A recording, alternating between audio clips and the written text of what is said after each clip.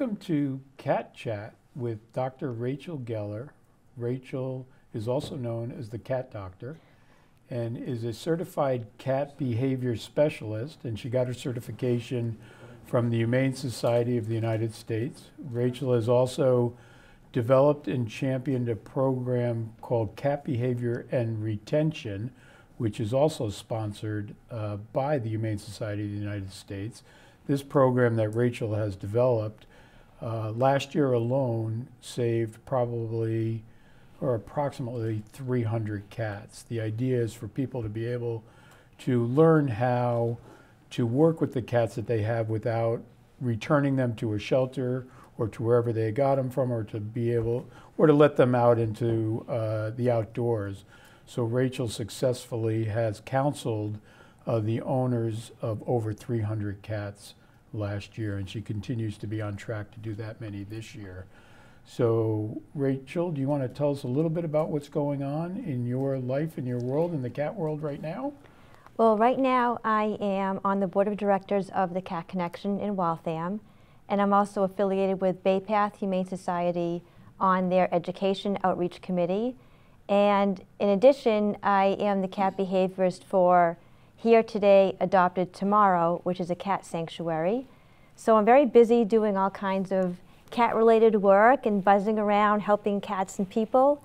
And so many people do always ask me, why do you spend your time helping cats? Why don't you help people instead? Maybe that would be a better use of your time. And I always explain to people that whenever you help a cat, you're always helping a person as well. So I find it very re rewarding. I love working with cats and with people. And um, I think my mission in life is to save cats. And you do a lot of this. Uh, obviously, you're very active in the cat community, in the shelter world, been on many TV shows, many radio talk shows. Um, but tonight we were thinking about doing this a little bit differently making it more of a question and answer format.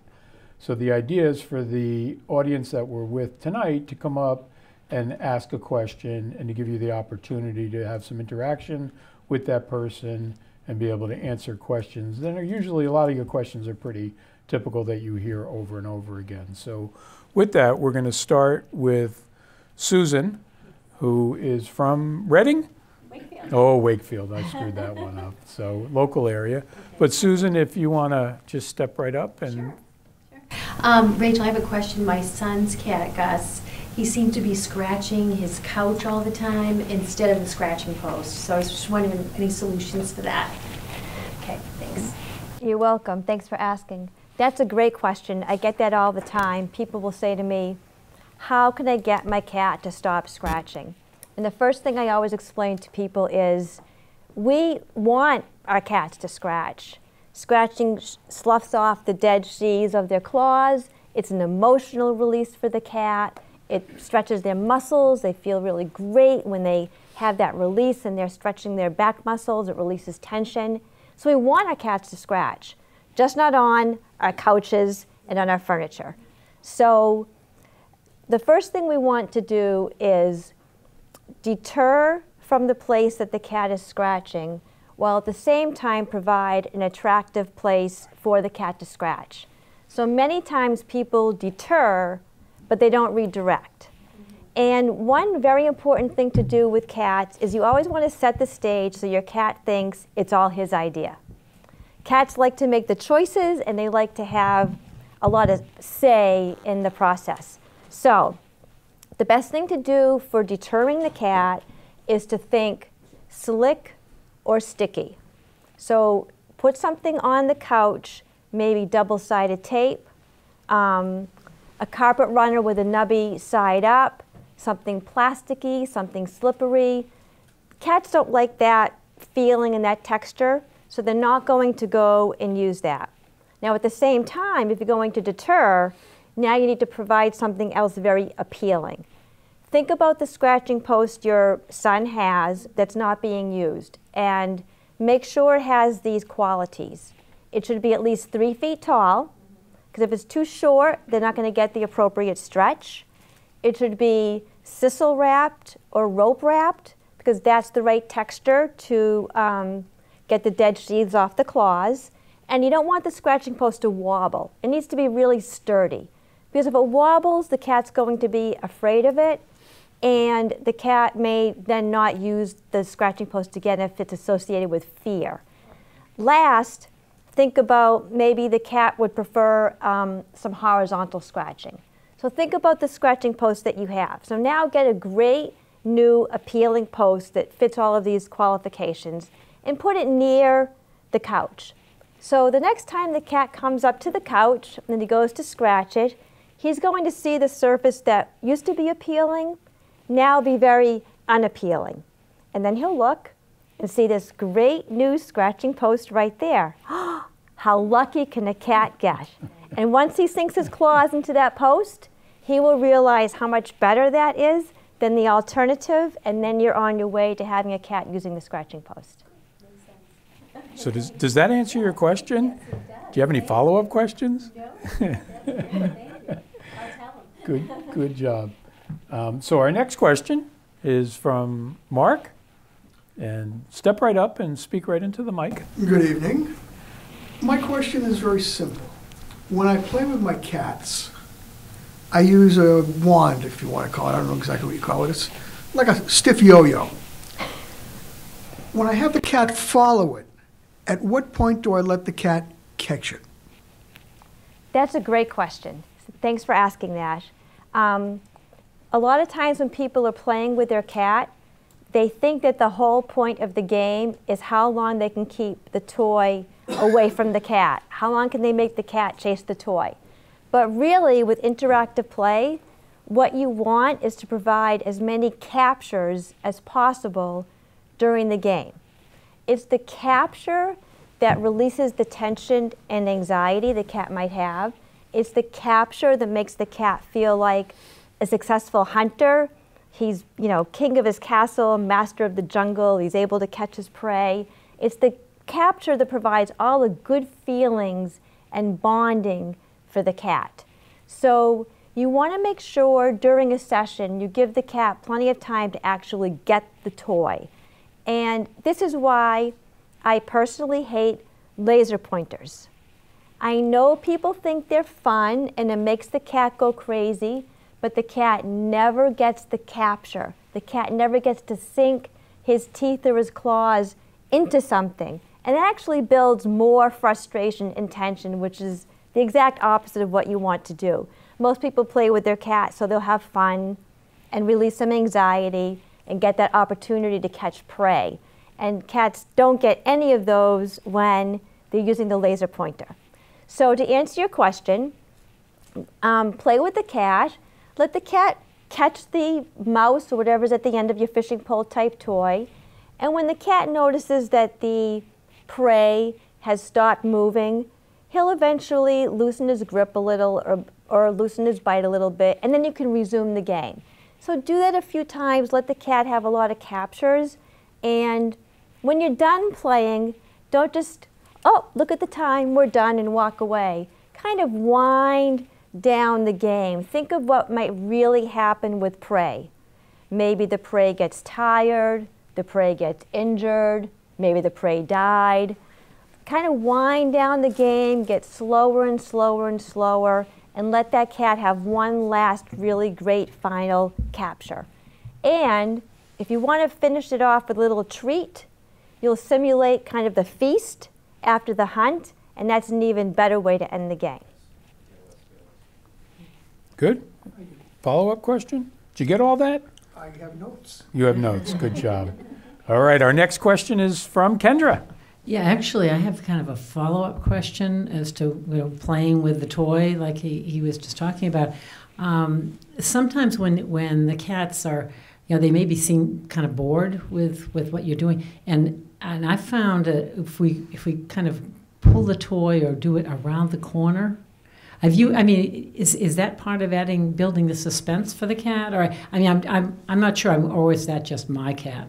Well, I mean, it's the, that really it's more interesting if suddenly it disappears around yes, the corner. Because any time that you can mimic how prey would really act, so many okay. times people will take the toy and dangle the toy in the cat's face. Well, Prey doesn't really do that. So your cat's not going to really have any type of excited anticipation with that type of a game.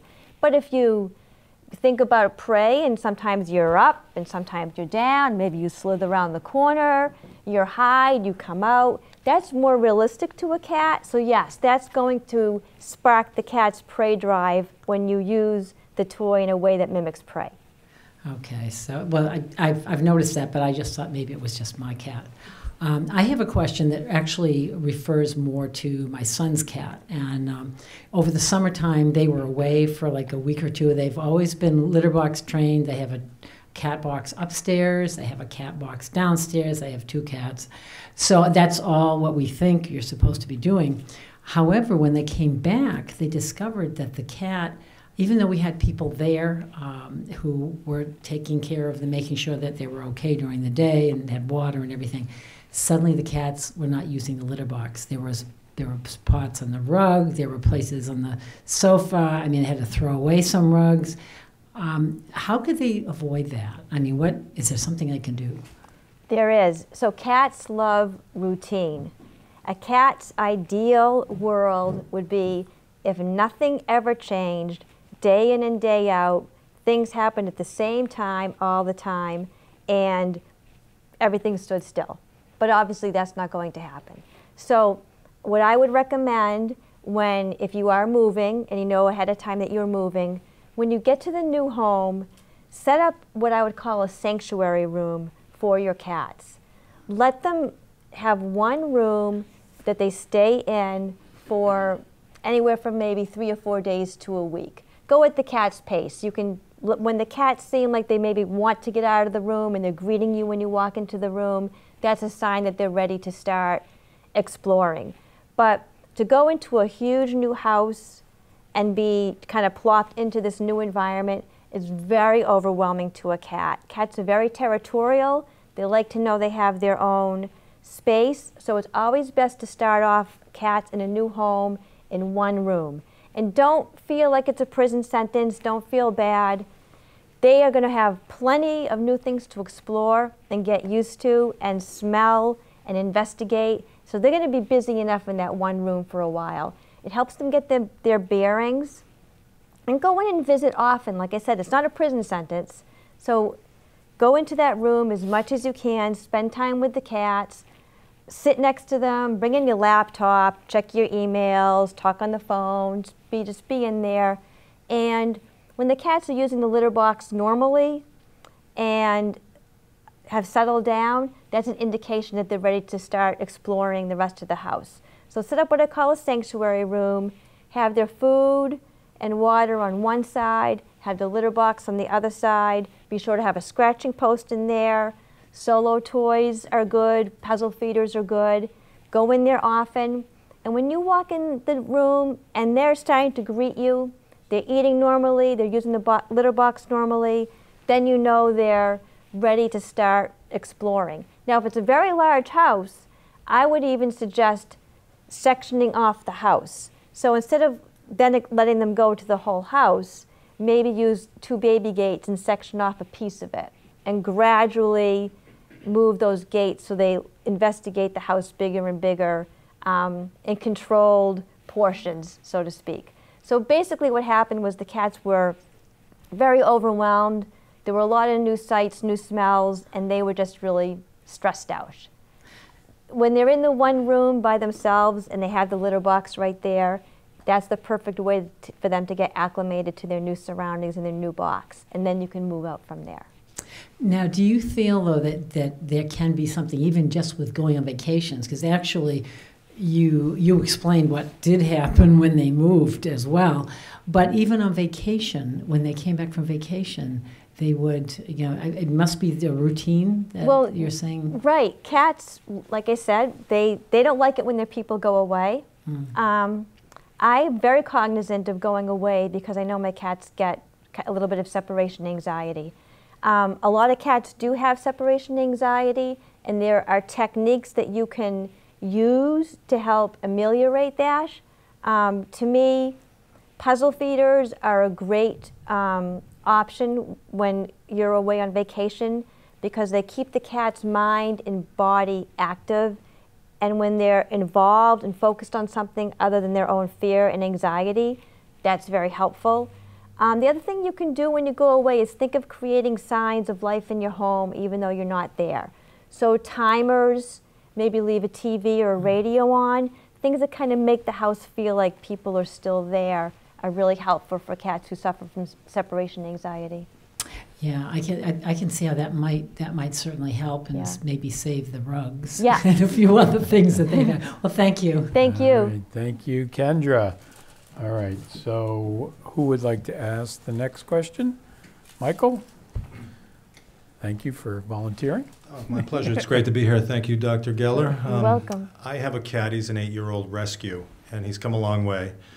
Um, and uh, but we every now and then he sort of creates his own anxiety. I don't know if it's coming from us, but uh, he was mowing the side of his fur, so it's like his whole left side. He just kept grooming and grooming and grooming, and uh, we tried to um, try different diets and uh, took him to the vet, and we couldn't really get any answers. Um, I was just wondering what might be the cause of that kind of uh, condition. So over grooming is often um, caused by tension and anxiety in the cat. Um, many times we don't even realize it, but if we're stressed out over something, or we're worried about something, or we're speaking in a different tone of voice because we have concerns, our cats do pick up on that. And often, if I'm stressed, my cat will be stressed. So if you have, you know, times when maybe you raised your voice or you have worries, cats absolutely pick up on those things. So the first thing you might want to do is think about what's going on in your home or the environment. Did something change that's stressing out the cat? Um, now, before somebody asked about how to play with a cat, and so that is part of my answer to this question as well. Interactive play with a fishing pole type toy is probably the best way to boost confidence in your cat. So one thing I suggest for people who have cats who are, tend to be prone to stress, over grooming, um, any type of compulsive behavior is interactive play therapy. And I say interactive play therapy because, again, I want people to think about using a fishing pole, providing multiple captures for that cat.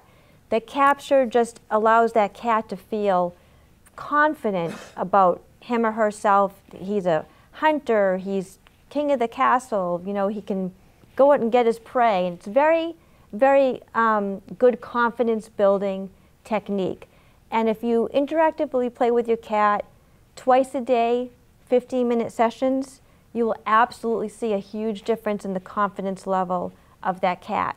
And then again, things like puzzle feeders, so the cat is focusing on something other than his own anxiety, is really helpful too. Last, sometimes people will say to me, my cat doesn't really like to play. If you're using a fishing pole type toy with the cat, and even if the cat is just following the toy with his eyes, he's still focusing on something other than his own stress and tension, and so that's still a positive thing to be doing with your cat. So, didn't you used to have a cat that was able to read your calendar? Maybe you could tell everybody that story. I'm talking about how stress and how it's transferred to your pets. This is very true. So we had a cat named Tuffy, and we used to joke that Tuffy could read my calendar because Tuffy was a very friendly and engaging cat. But every three to four months, he would suddenly decide to hide under our bed, but not just like under our bed near the periphery, but in the middle under the bed, so there's no way you could get to this cat. And he only did this on the days that I had written in my calendar that he had a vet appointment. now, clearly, Tuffy was not reading my calendar, but Tuffy had a heart condition, he had cardiomyopathy. So I would become very stressed on the day of his vet appointment because I was always worried. Is he going to get a good report? Will his heart be okay? Am I going to stress him out? Bringing him to the vet, will his heart be able to take that? And I would get all worked up about bringing my cat to the vet. So he sensed that I was very afraid of something, And he figured, well, if mom is afraid of something, I better be afraid of that too. And he would go and hide. And he consistently did this every time he had a vet appointment, whether it was two weeks apart, once a year, twice a year. He would go and hide under the bed on the day he was going to the vet. So, yes, he was absolutely picking up on my Sure. tension and fear and decided he better go hide because mom's afraid of something and I better make sure I'm safe too. Right. Yes, So they, yes. stress transference. Yeah, I mean, I was going to say that. Yes, please ask a follow-up Yeah, question. Well, because, I mean, that helps me with my question, because he stopped doing it all of a sudden. But now that I think about it, during that time, we were, we were going through uh, the loss of a family member. And, um, you know, we think something's wrong with him, but I guess he, he saw something was wrong with us. It's very true, and cats will pick up on, you know, um, loss, divorce, stress, and think of anything that happens in your life that's extremely stressful, and your cat will pick up on that. And so it's really very, they're very in tune to us, and they will react to how to things that we are reacting to. So that totally makes sense. Even, um, you know, a kid going off to college. I've, I've worked with people where cats have reacted to that. So they're really mirrors of us. I guess that's why they call them copycats. Oh, exactly. I like one. that. Very like well that, too. done. Yes. Thank you. Never thought Yes. of that. Thank you, Michael. Another question? Susan, you want to ask another? You're entitled to ask too. Oh, Debbie has a question. Debbie's coming and then up. Janice. All right. So while Debbie's coming up, should I talk about full disclosure that you're my wife? You can Or bring that up. We, we want to keep that a secret. Well, I think that. Bruce? I think that cat's out of the bag. Oh, boy. We have to be very careful I about cat actually, jokes in I our house. actually will just say, and this is an aside, and then we'll get to Debbie's question. I really highly dislike those idioms like "there's more than one way to skin a cat" or "the cat's out of a bag." Right. I really dislike those, even ones that aren't cat related. Like, um, why do we say I'll kill two birds with one stone to mean I'm going to do a couple things at the same time? I just find they're all so violent and they're all against animals, and it really bothers me. I just think, as a society, but I mean, I don't know how I'm going to get this accomplished, but we just shouldn't use violent language towards animals to to talk about everyday things that are in our life. It's, I, it's, a, it's something I, I dislike. But I think if we could all be more cognizant of our language and those phrases, that really, that's what they, they are. They're all like violent phrases of, about animals to talk about some occurrence in our lives. So everybody think about that. Don't use those expressions anymore. Okay. We don't use them in our house anymore. We don't know where some of these things have come from. I don't but- know, but we need to end it. We need to eradicate these Oh. sayings. Debbie, I actually had one, and now I've got two questions. My second question came from your last story about the kitty with the vet. I have a new kitty that came from an abuse situation that I've been working with, and she's not 100% with us yet, like general population. Taking her to the vet right now is scaring me because I'm not able to pick her up, but I don't want to scruff her and make it bad. She has a carrier open in her room, and I always keep one open in my house. My boys will sleep in it. So that was my first question. And then my second is a foster kitty that he's four years old, has been through a lot, was declawed at some point, and is now doing the horrible bunny kick with the back claws, and he's drawing blood and literally he's with another woman as foster. When she's leaving the room he literally will jump on her leg and back, bunny kick with his back claws. And we want to figure out how to get him to stop. Okay, so I'm going to start with your first, your second question first. Okay, so first of all, um, declawed cats do tend to bite more and to attack more and to bunny kick more because they feel vulnerable. They've lost their line of defense and they feel like, should something happen, I'm not going to be able to defend myself. And these feelings of needing to defend yourself can be real or imagined. So it doesn't mean, you know, you could be thinking, well, there's nothing in this house. It doesn't matter. They know they can be ambushed at any time and not be able to protect themselves. So that's why declawed cats do tend to engage in these behaviors. So, what are we going to do? We're going to do something called the distraction and redirection method. And basically, what we want to do is distract the cat from when he was about to attack you and redirect the cat to an appropriate means of getting rid of his tension. So, I usually say to people, try to get a handle of maybe the triggers or what the situation is that sets the cat off. Is it the time of day? Is it motion? What, if you can determine that, it makes it a little easier. But if you can't, it's okay. The, the, the technique will still work. Basically, what you want to do is when you see the cat get into motion to attack, or if you've determined I can, I know the trigger, so this just happened. I know the attack's going to happen any moment. You would you want to distract the cat with a toy. It can be a fishing pole type toy. It can be a crinkly mylar ball, something that you know your cat likes. One toy that I highly recommend is the cat dancer toy. They're very mm-hmm. inexpensive. They're like two dollars. They're very small, so you can curl them up and stash them under a cushion. You can stash them all around your house because in, with the distraction and redirection method, the last thing you want to be doing is to have to run down the, the hallway to locate a toy. So you want something that you can get. So the cat's gotten into motion. You distract the cat with the toy. This now pulls the cat out of that aggressive mode and into the hunter mode. So you're taking the cat out of something negative and aggressive into something hunting and positive. So we shift him out of the aggressive mode into the positive mode, and now we conduct an impromptu interactive play session, as I've discussed before, with captures and mm-hmm. letting the cat play and get the captures. This is a positive way of retraining because if you just yell no or you squirt with a water bottle, you're not giving him a reason to like the new behavior.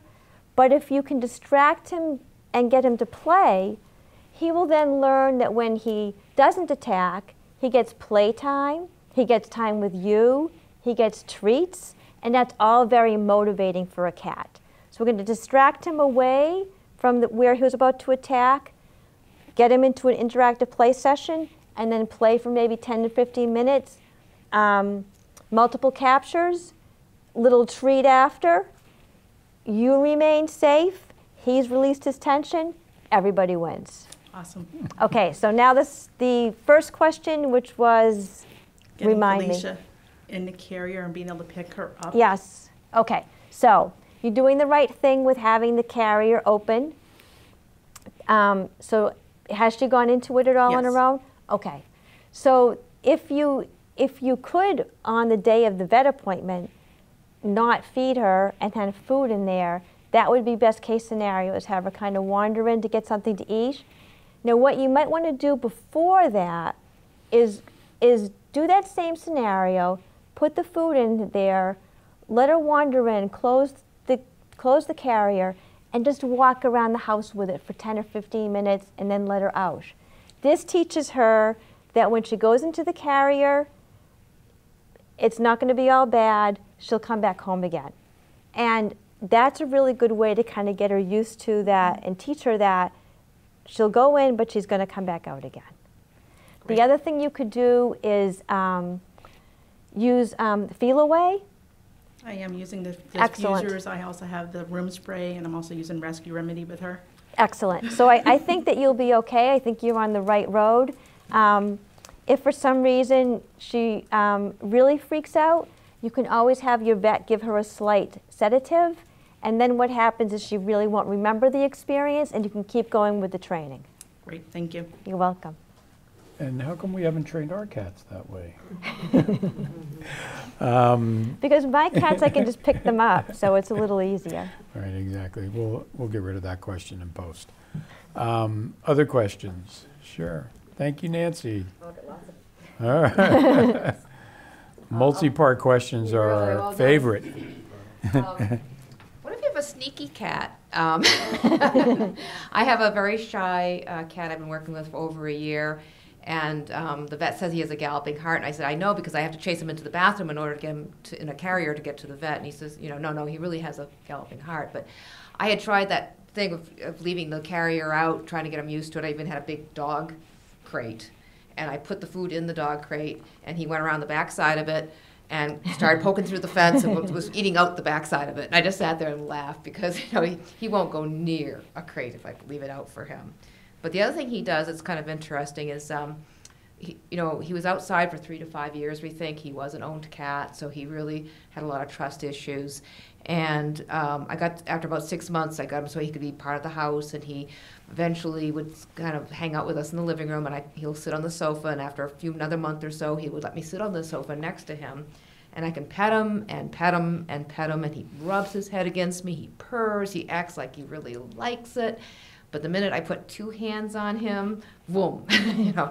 So how do I? How can I get him to that next level where he'll trust me? I've actually been able to pick him up for maybe three seconds and put him right back down. Okay, all You right, know, so I've this been is trying to do that desensitizing, but Yes. but So- even getting that far to be able to even get him enough to catch him to pick him up. So um, for the petting him, to try to get the two hands. So the best way, anytime you sort of want to um, elongate or or add to any type of stimulation with a cat, the best thing to do is go very very incrementally, and always kind of stay um, below that threshold of when the cat freaks out. So we, when you have the two hands on the cat, we want to figure out how long, how long can you have the two hands before the cat actually takes off. Let's say it's five seconds. Let's say it's ten Two seconds. nanoseconds. Let's say it's two seconds. So we want to stay under that threshold. So what you would want to do is maybe literally just touch the cat as quickly as you can and stop Yeah. and then touch the cat as quickly as you can and stop. And by doing that, you, you always stop before the cat gets to the point where he has the freak out. And then you can very, very conservatively and gradually um, elongate the time your hands are on the cat and the amount of sessions that you do it with the cat. So basically, you would desensitize the cat to the feeling of both of your hands. Now, if if if the if the two hands is really, really, really too much for the cat, you could try doing something like this. So some cats are really reluctant to have your hands on them, but they will accept a safe um, distance with with the wand. So this is just a, a wooden spoon with a hat on it, but you can even take, you know, a, a toy like this and repurpose it. You could do something soft on the other end. Um, but what you could do is, is have your hand on the cat on one side and maybe be using this on the other. And that could be an interim step to get the cat used to having being touched in two places. So you may find this is much safer for the cat to accept. Many cats who don't like to be petted at all, you can start off with a petting wand and they will accept it. So try using one hand and try using something like this on the other side. And just get him used to that feeling of being touched in two places. And when he accepts that, maybe you can gradually even to, even um, length, um, lessen the length of this with your hand, and then eventually get to your hand on there. So anything like that, where you were very conservative and incremental and structured, will help. Okay. That's perfect because it leads right to my second question. because I'm fostering a five year old tortie, and I know torties have supposedly have tortie, but I never try to believe in stereotypes. Um, she was a surrender. The owner had to go into a nursing home. Um, so she was alone for a fair bit. Uh, just the daughter was coming in and taking care of her. I've had her for two months. The lady got her as a kitten. She only just recently started eating if I was in the room and she and my my cat room is kind of cat proof so she they can run but they can't you know hide Yeah, terribly hard. And he just she just sort of hangs out underneath my in the knee hole of my desk. So she's not really hiding. She's just got her spot there. She'll but um, she only recently uh, but if i get near her at all she becomes a slasher. And i mean a serious I, mean, I have the wounds to prove it.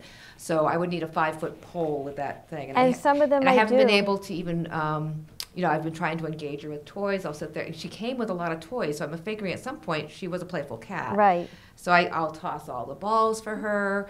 I'll try to wave things in front of her, drag them by. I have this uh, almost a foolproof cat toy that my husband came up with, which is a length of um, pull chain from a lamp, from a pull lamp, because it, it, it makes all this nice snaky noises and it moves neat and makes little metallic noises and they grab at it, but they don't quite catch it. My cats just love that toy.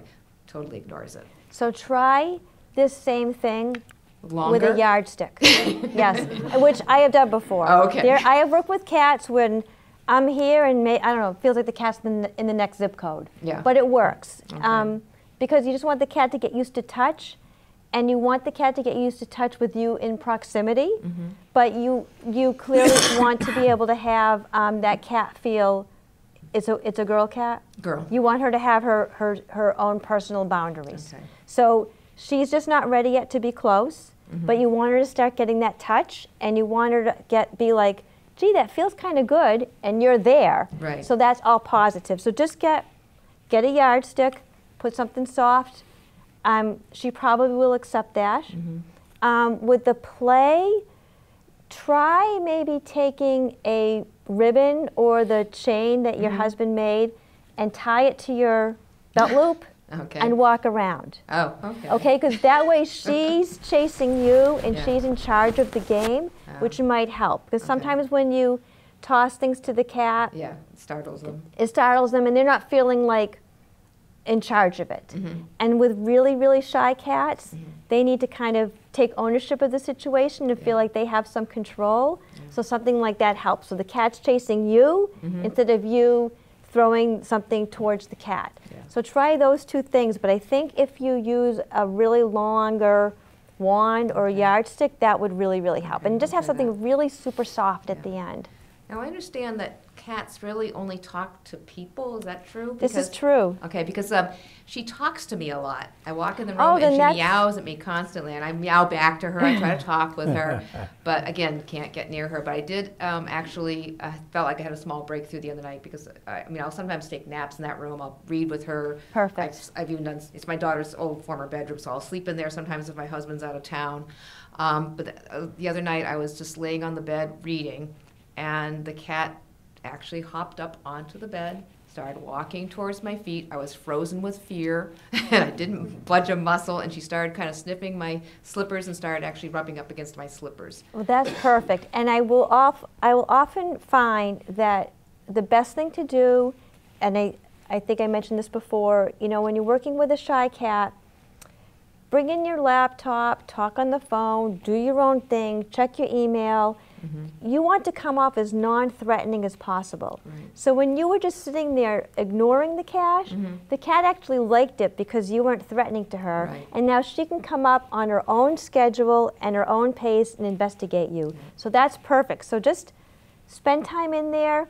Don't, you know, directly look at her. Don't make any overtures towards her so you come off as mm-hmm. non-threatening and let her control the pace of the interaction. And that fits into the thing with I was saying with the ribbon Yeah. too. Okay. Let her control the pace of the interaction and I think that you'll find some some breakthroughs Okay, I'm with going to that. be very brave to do that one.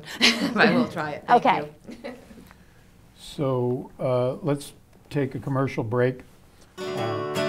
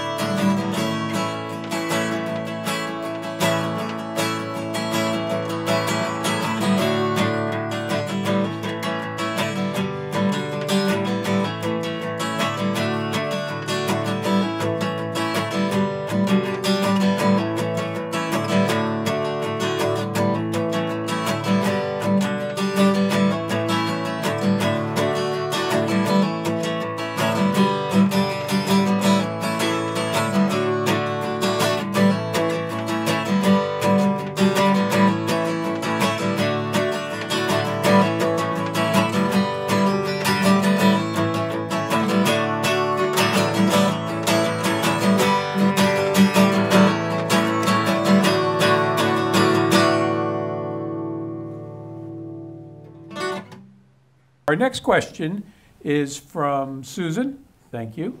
Go right ahead. Hi. Uh, I have a couple of cats that are getting on in age. One's about 13, and the other, I think, is 16. And just recently, they both started late at night talking very loudly, walking around the house, making noise, um, just out of the blue. It doesn't really bother me because I'm usually up late, but it does wake up my husband. so, and, and I go and check on them, they're perfectly fine. They're just talking really loudly. What can we do about that? Okay, so usually when cats meow, they're meowing to their person. So one cat, Fluffy won't go up to Puffy and say, hey, meow, meow, meow, meow, meow. And then Puffy says to Fluffy, yeah, meow. So usually they're meowing to you. So they want you, they want your attention for something. Okay, so how do we um, reset that feline alarm clock? What I want you to do is before you go to bed, and not like a half an hour before bed or an hour before bed, but literally five minutes before you jump into bed, I want you to do a very, very robust interactive play session with a fishing pole type toy. So, as I described before, you're going to really rev up your cat, get them going, um, go at it for about 15 minutes, let the cat have many captures, and at the end of the session, now we don't want to leave them wound up, we want to wind them down.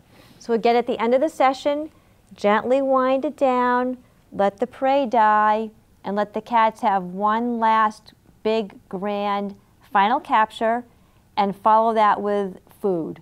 So now what you've done is you've gone in that cycle where it's hunt, eat, sleep. So right before bed, you're going to leave them in that very contented, ready to sleep state, and that will help the cat sleep through the night. Perfect. Thank you very much. You're welcome.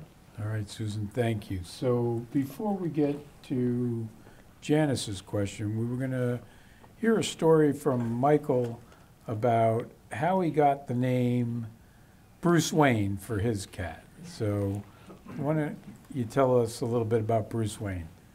Well, um, it, it, he's eight years old. We got him. Uh, his gotcha day was just last week, where we adopted him. so we've had him eight years. So he's about- Congratulations. Thank you. He's about eight and a half. We had had another cat, Jimmy, who I had had for about 14 years, and he passed away. So we waited some time before we got another cat. My wife loves cats. If she could have 50 of them, she would, but we can only handle one at a time right now. I can relate. Yeah.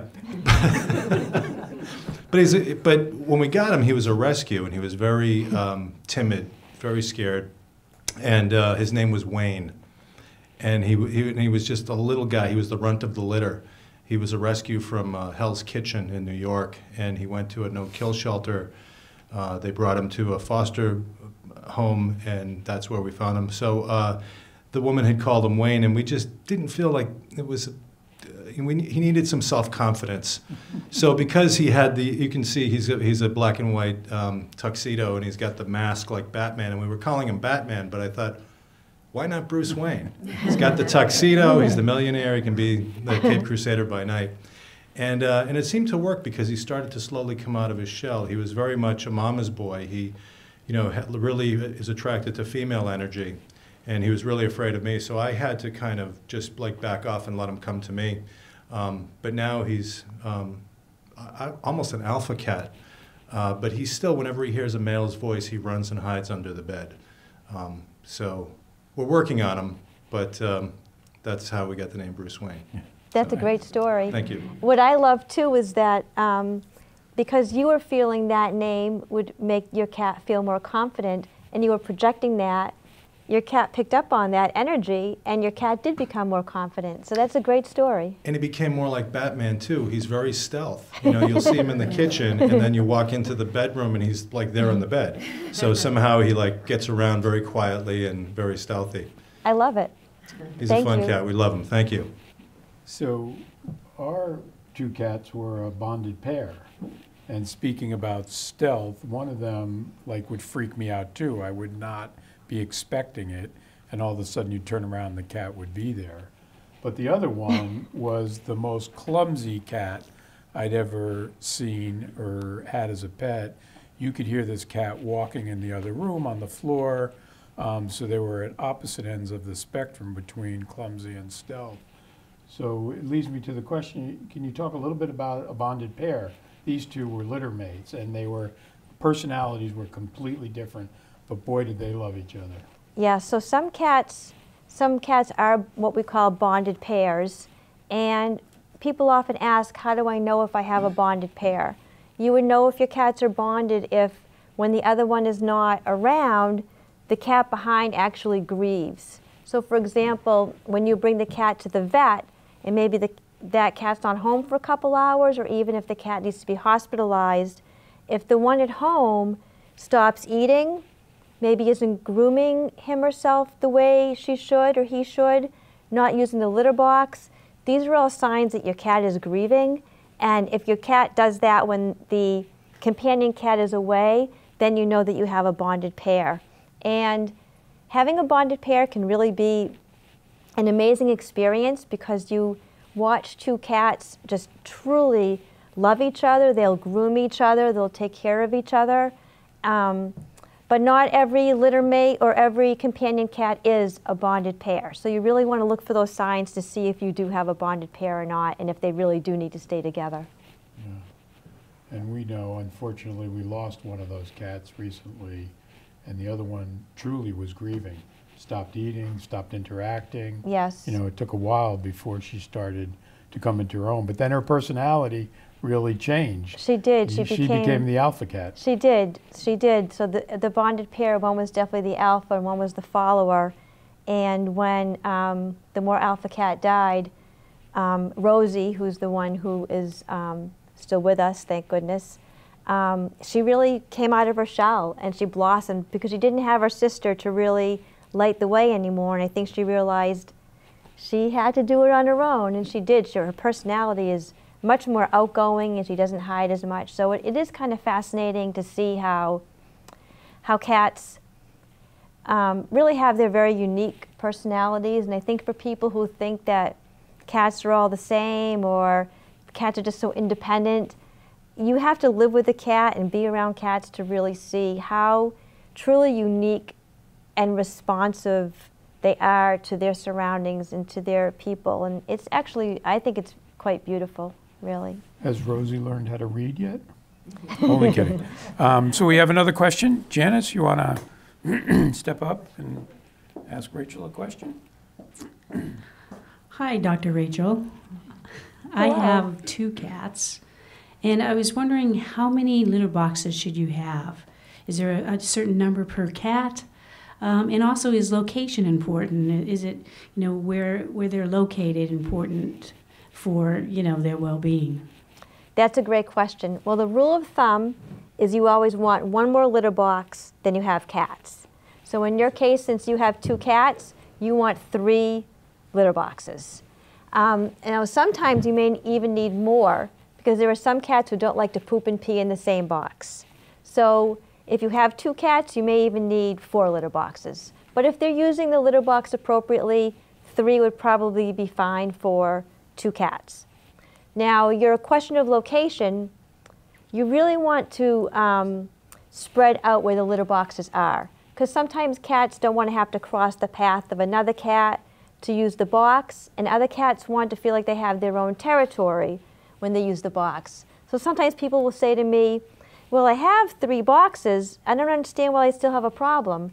And I'll go to their home and see the three boxes lined up in one room. So that really defeats the purpose of having multiple boxes. So you want your boxes in multiple locations throughout the house so your cats have choices, safe places to go, options, and you want to have let them have that opportunity to really choose and to create their own territory for their own litter box. Great, thank you. I guess I have some work to do. You're welcome. Um, Susan, can you tell us a little bit about Gus? Well, um, well, I was cat sitting for my son while he was away, and uh, I'd go in his house and I'd yell, Gus, Gus, and never knew where he was. And then I look up and he's on top of the air conditioner, like just looking at me like, what do you want? you know? It's But- hot. yeah, I know, I know. So um, he's he's a good cat. He's just I when I go over there, I never know what to expect. You know, but Is the air conditioner high off the ground? yeah, Yeah. I think he just likes to maybe like sun himself on top of it, you know, or something like that. You know. Yeah. But- Cats like vertical space. They Mhm. like to be up because then they can kind of lord over everything and see Right. what's going on and monitor the situation. But yes, cats also love that patch of sunlight, so he's probably enjoying the best of both worlds. Right. I like the sun too. Yeah. okay. How we doing for time? because I have a couple more questions I could ask, unless somebody else has them. Five or six minutes. Okay. Anybody else have a question? Because I have a couple more that I could ask. But if, What about a cat that's just totally utterly disappeared in the house and you can't find it? oh, we've had that happen quite a bit, Yes. actually, where Rachel's called me freaking out, I can't find the cat. So, um, you want to talk about their ability to, To hide? Count that 'cause it was, couldn't hear it. Oh, yes. we go- Yeah, yeah, yeah, like- sure. Okay. I could rephrase it, but better it come from you. Oh, Welcome back, Nancy. Thank you. Well, we, we work with um, a cat rescue and, and get a lot of follow-up calls from um, fosters and adopters. And somebody recently a- adopted a cat, and it was on one of the shy ones. And we always talk with our, our adopters about the, the importance of doing that very, very slow intro. But somehow this cat has totally evaporated inside the house, and they can't find the cat. It's been several days. What is your advice? Okay, well, we don't want the cat to go too long without eating or drinking. So my first um, line of defense would be to entice the cat out with something that most cats find really irresistible, and that would be very stinky tuna fish. So if you can put some stinky tuna fish in some spots around the house, the house may not smell too good for a while, but the cat will probably come out to eat, and that's very enticing to a cat. Now, if it's a more serious situation and you don't think the cat is just hiding under a bed or under a sofa somewhere, and you think maybe the cat climbed into um, a vent or some, a crevice somewhere in the house, you may want to use special thermal heat seeking equipment, and you can do that through the Animal Rescue League or your fire department. And I think the on Reading Public serious- Library has something like that that you can use for seeing how well insulated your house is. Aha, so something like that. the light bulb just went off. Yes, I would suggest if, if you think it's a little more serious than just the cat hiding under a bed or a sofa. Yeah, they've, um, they've, they've torn the house apart. then I, I would suggest using heat-seeking thermal equipment to find that cat. Thank you.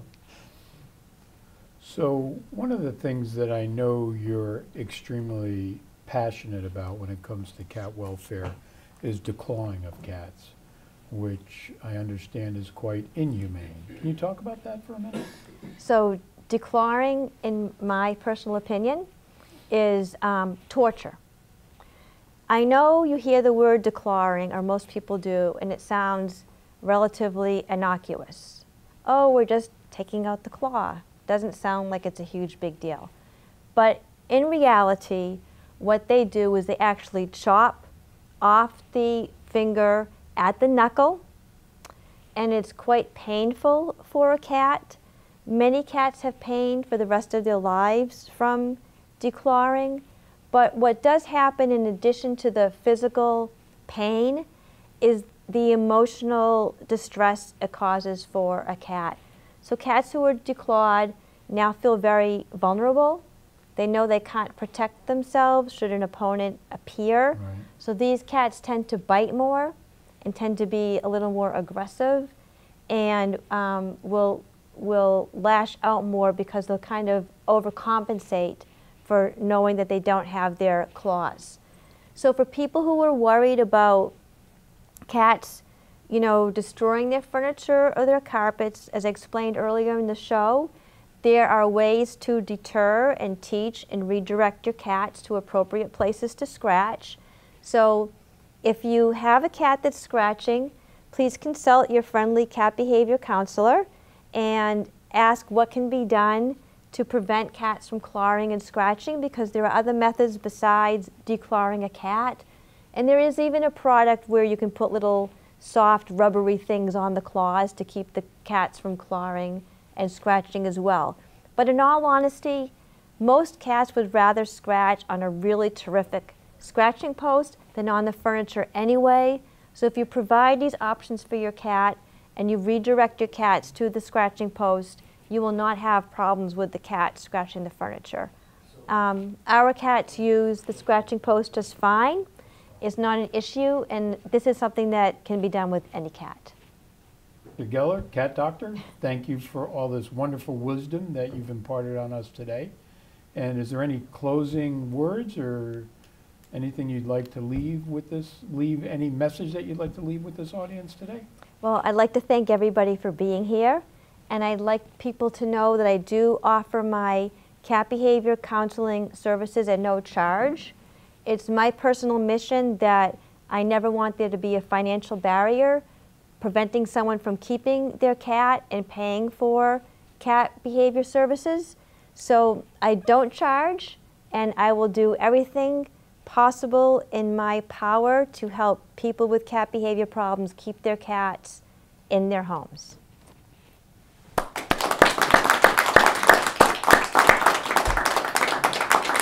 Thank you all. All right, Dr. Geller. All right.